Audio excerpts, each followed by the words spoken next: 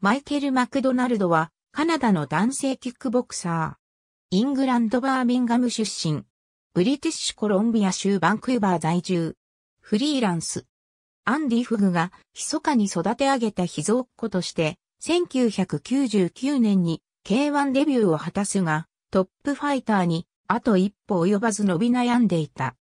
1999年から2006年まで、レーセフォー、ピーター・アーツ、ミルコ・クロコップ、セーム・シュルト、レミ・ボン・ヤスキー、ステファン・レコ、などと対戦。2001年のメルボルン大会で、当時勢いに乗っていたミルコ・クロコップを1、RKO で下し、徐々に頭角を現し始める。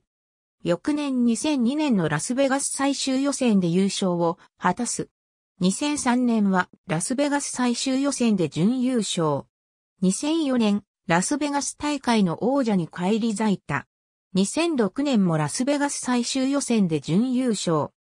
2004年3月14日、新潟で開催された K1 ビースト2004で総合格闘技ルールに初挑戦。